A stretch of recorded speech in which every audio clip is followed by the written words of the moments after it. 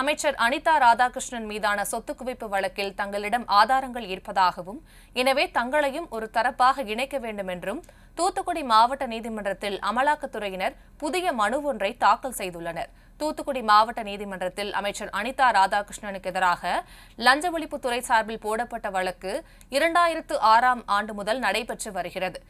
இதில் வழக்கு விசாரணை தொன்னூறு சதவீதம் முடிவடைந்த நிலையில் கடந்த ஏப்ரல் மாதம் பதினெட்டாம் தேதி இந்த சொத்து குவிப்பு வழக்கில் தங்களிடம் ஆதாரங்கள் உள்ளதாகவும் எனவே தங்களை ஒரு தரப்பாக இணைக்க வேண்டும் எனவும் அமலாக்கத்துறை சார்பில் தூத்துக்குடி மாவட்ட நீதிமன்றத்தில் மனு தாக்கல் செய்யப்பட்டது. இது தொடர்பான வழக்கு விசாரணை இன்று மாவட்ட நீதிமன்றத்தில் நீதிபதி செல்வம் முன்னிலையில் நடைபெற்றது.